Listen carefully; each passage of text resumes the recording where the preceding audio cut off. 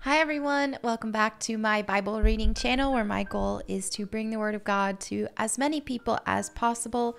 So, today I'm going to pick up where we left off and we will be finishing Song of Songs today. So, let's go with Song of Songs, chapter 7. How beautiful are your sandaled feet, O queenly maiden! Your rounded thighs are like jewels, the work of a skilled craftsman. Your navel is perfectly formed, like a goblet filled with mixed wine. Between your thighs lies a mound of wheat, bordered with lilies. Your breasts are like two fawns, twin fawns of a gazelle. Your neck is as beautiful as an ivory tower. Your eyes are like the sparkling pools in Heshbon. By the gate of Bath Rabbim, your nose is as fine as the tower of Lebanon, overlooking Damascus. Your head is as majestic as Mount Carmel, and the sheen of your hair radiates royalty. The king is held captive by its tresses. Oh, how beautiful you are! How pleasing, my love! How full of delights! You are slender like a palm tree, and your breasts are like its clusters of fruit. I said, I will climb the palm tree and take hold of its fruit. May your breast be like grape clusters, and the fragrance of your breath like apples. May your kisses be as exciting as the best wine. Young woman, yes, wine that goes down smoothly for my lover, flowing gently over lips and teeth. I am my lover's, and he claims me as his own. Come, my love, let us go out to the fields and spend the night among the wild flowers. Let us get up early and go to the vineyards to see if the grapevines have budded, if the blossoms have opened, and if the pomegranates have bloomed. There I will give you my love. There the mandrakes give off their fragrance, and the finest fruits are at our door new delights as well as old, which I have saved for you, my lover. Song of Songs, chapter 8. Young woman. Oh, I wish you were my brother who nursed at my mother's breast. Then I could kiss you no matter who was watching, and no one would criticize me.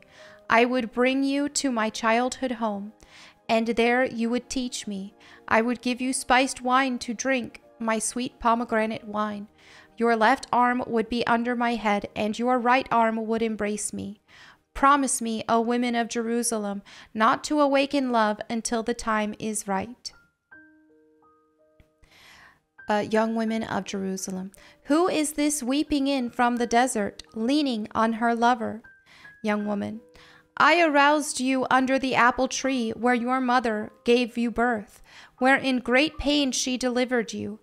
Place me like a seal over your heart, like a seal on your arm, for love is as strong as death, its jealousy as enduring as the grave. Love flashes like fire, the brightest kind of flame. Many waters cannot quench love, nor can rivers drown it. If a man tried to buy love with all his wealth, his offer would be utterly scorned. The young woman's brothers. We have a little sister, too young to have breasts. What will we do for our sister if someone asks to marry her? If she is a virgin, like a wall, we will protect her with silver tower. But if she is promiscuous, like a swinging door, we will block her door with a cedar bar. Young woman, I was a virgin like a wall, now my breasts are like towers. When my lover looks at me, he is delighted with what he sees. Solomon has a vineyard at Baal Hamon, which he leases out to tenant farmers. Each of them pays a thousand pieces of silver for harvesting its fruit. But my vineyard is mine to give, and Solomon need not pay a thousand pieces of silver, but I will give two hundred pieces to those who care for its vines. Young man, O oh my darling, lingering in the gardens, your companions are fortunate to hear your voice. Let me hear it too. Young woman, come away, my love, be like a gazelle or a young stag on the mountain, mountains of spices. And there you have it for today's Bible reading. Next video, we'll be starting Isaiah. So we're progressing well. uh, thank you all so much for your fellowship. As always, feel free to leave your prayer request in the comments so that myself, my prayer team, or anyone who reads them can pray for you. And thank you to everybody who has been praying for me as well. Thank you all again for watching. God bless and goodbye.